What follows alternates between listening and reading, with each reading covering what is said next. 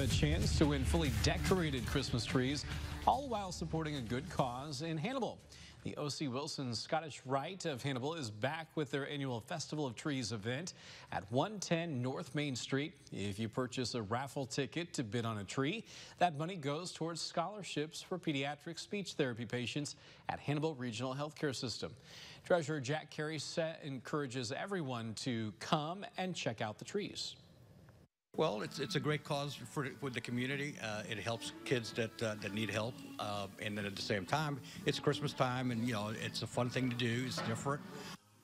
And the Christmas trees were donated by local businesses and individuals. He says their goal is to raise about $10,000.